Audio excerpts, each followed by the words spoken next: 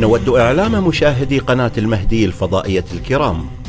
إلى أن معدل الترميز للقناة على قمر النايل سات سوف يتغير ابتداء من 11 2017 لذا ندعوكم إلى إعادة ضبط معدل الترميز على أجهزة الاستقبال لديكم من ثلاثة على أربعة إلى خمسة على ستة أو أوتو.